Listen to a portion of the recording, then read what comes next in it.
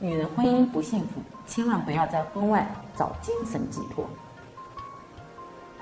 张张家里是开店的，生意很好。几年前，几年前她和丈夫下了岗，没了生活来源，他们寻摸着自己开店当老板。刚干生意那几年特别困难，生意上没有什么起色，相互鼓励，一起度过了那段最艰难的时期。现在日子渐渐好起来了，和丈夫的距离也越来越远了。彼此之间的话也越来越少。过去因为没有钱，生活特别苦，但现在生意起来了，有钱了反而感情没有了。因为生意越做越大，所以夫妻俩盘算开了家分店。张张在原来的店里，丈夫去了新开的店，两个人分割两地，只有晚上回家才能聚在一起。张张最近招了一个会计。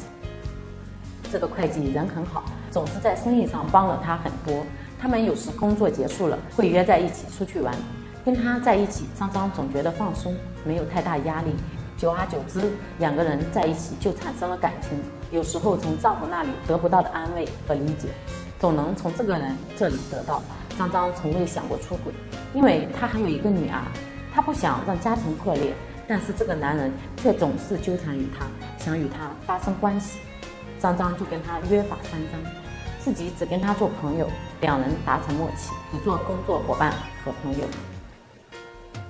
但是事情哪有那么简单？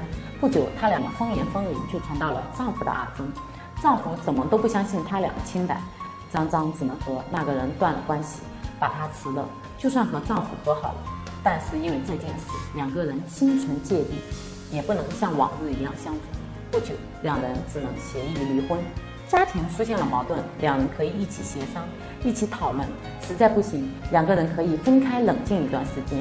但是如果在外面想要找什么精神寄托，那就大可不必，因为它能随时会威胁你的家庭生活、婚姻生活。再说，男女之间哪有什么一定的纯友谊？两个人时间长了，干柴烈火，肯定会出事情的。你结了婚，就不能只为自己着想，照自己的想法过日子，一定要为对方考虑。否则，这个婚姻是不会长久的。